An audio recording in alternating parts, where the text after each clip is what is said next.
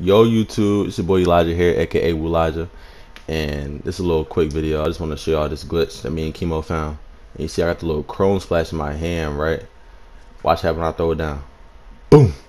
Look how dark his freaking skin turned, bro. That's OP. If you go to a dark area, bro, they're not gonna be able to see you, like for real. But yeah, it's a little quick video. I just wanted to show y'all that real quick.